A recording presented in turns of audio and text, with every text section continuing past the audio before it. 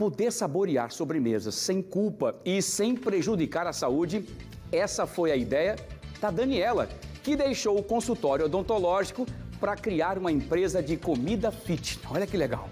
Foram muitos anos, né, muitos obstáculos, mas ela venceu todos eles com planejamento, orientação e persistência. A história da Daniela e de tantos outros pequenos empresários que mostramos aqui comprova que qualquer um pode ser dono do seu negócio e que uma boa ideia pode se tornar sua fonte de renda.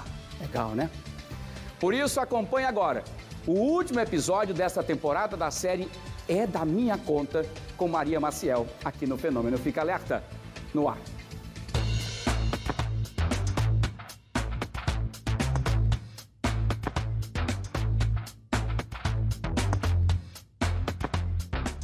No momento em que eu oferto um produto feito com todo carinho, qualidade e sabor, sabendo que as pessoas vão poder consumir com tranquilidade, sem causar prejuízos para a sua saúde, para mim, isso é uma satisfação que vai além do profissional, ela se estende para o pessoal.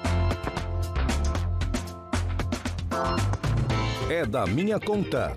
Oferecimento: Sebrae, a força do empreendedor brasileiro.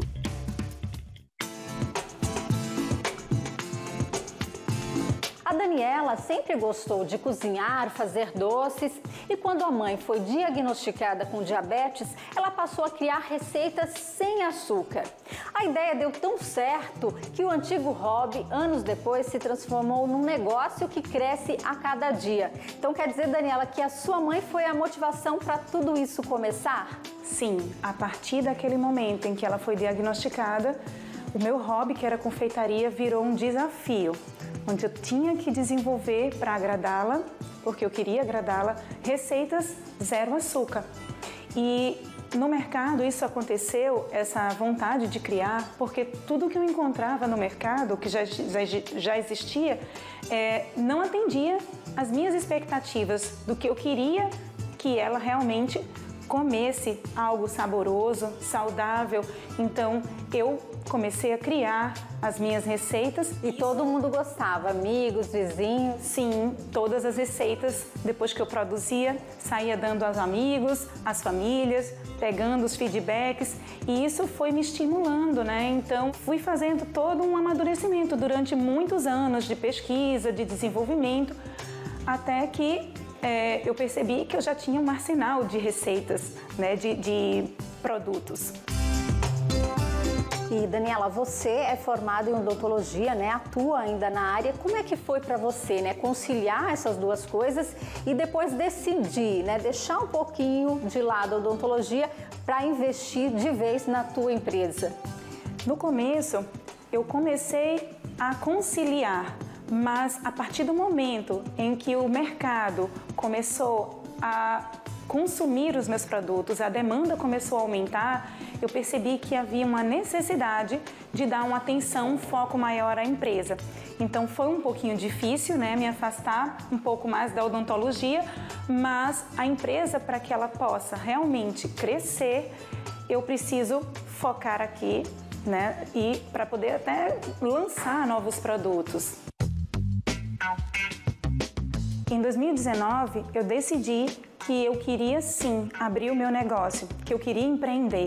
Então, eu fui no Sebrae e tive todo o suporte através de consultorias, tanto gratuitas como consultorias pagas, que é através do Sebrae Tech, que eu acho que foi assim um caminho que me levou ao crescimento, ao amadurecimento e à formação da base que eu precisava para abrir o meu negócio já caminhando de uma forma diferente.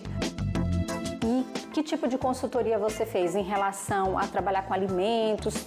Sim, eu fiz várias consultorias, consultoria de gestão financeira, formação de preço, melhorias de serviços e produtos, segurança alimentar, consultoria de informações nutricional e rotulagem e estou sempre buscando outras consultorias para fazer esse crescimento. E hoje você trabalha com parceiros que revendem os teus produtos, os teus brigadeiros. Sim, hoje a Lefite está em praticamente todas as lojas de produtos naturais em Maceió e algumas lojas em Arapiraca também. Então nós estamos a cada dia fechando novas, novas parcerias né, e ganhando o nosso mercado alagoano. E o consumidor final vai poder também comprar os brigadeiros? Sim, a empresa está entrando num novo momento, um momento com mais estrutura, conseguindo então ampliar a produção e ainda esse mês nós vamos, nós temos a proposta de abrir aí um cardápio muito interessante com muitas opções para o público final. Brigadeiro é doce, mas o caminho de um empreendedor às vezes tem um sabor amargo, né? Como é que foi, capitão de giro? Teve momentos difíceis aí nessa trajetória? Sim, eu passei por muitos desafios. Eu aluguei um espaço. Após um ano, eu não, tá, não tinha conseguido ainda me estabilizar no mercado, então chegou um momento muito difícil onde eu tive que deixar o espaço que eu estava, me mudar para um espaço menor, fazer toda uma adaptação. Pensei em 2021 em fechar a empresa, mas muitas coisas surgem para mostrar que a gente não pode desistir. Então eu sempre fui muito persistente, sempre busquei alternativas. E você utiliza a biomassa da banana verde? Isso. Desde o ano passado, quando eu comecei a me aprofundar e percebi que esse insumo, esse ingrediente era rico e que ia agregar muito valor nutricional para o meu produto, eu passei a incluir a biomassa de banana verde nos meus brigadeiros. E aí hoje nós estamos aí com um produto de sucesso no mercado que permitiu que nós nos estabilizássemos e permitiu também que houvesse esse crescimento.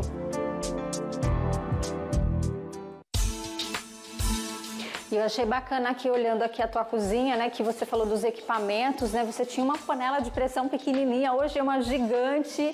E é esse crescimento que você quer ver na empresa? Exatamente. No começo, a gente fazia as, muitas paneladas de pressão, né, para cozinhar a banana verde numa pequenininha, era ali, e aí a demanda foi aumentando, e aí eu vi a necessidade de comprar uma panela de pressão maior, porque realmente para a gente conseguir atender, a gente tem que investir em maquinários, otimizar a nossa produção. E esse crescimento ele foi gradual, né? Foi, foi um passinho de cada vez, mas eu acho que é isso que motiva, né? É olhar para trás e ver que a gente percorre esse caminho, mas nunca sozinho. E que vale a pena. E que vale muito a pena, apesar de todas as dificuldades, desafios, vale muito a pena. Dica 1. Um hobby pode ser uma boa oportunidade de negócio, mas é preciso se capacitar. Dica 2. Não basta saber fazer, você também precisa aprender a fazer a gestão do seu negócio. Dica 3. O sucesso de uma empresa leva tempo.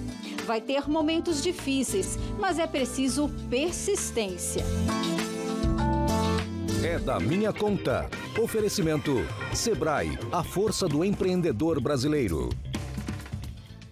Que maravilha, né? Parabéns, Daniela. Pois é, era, era, era dentista e foi agora para para os alimentos fit, muito legal, né? Maravilha, né? A nossa diretora disse que provou e foi maravilhoso, né? Foi legal, que bom.